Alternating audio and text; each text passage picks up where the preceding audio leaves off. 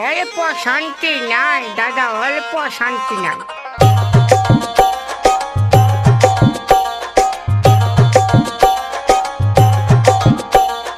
एक माँ जिस बेटे को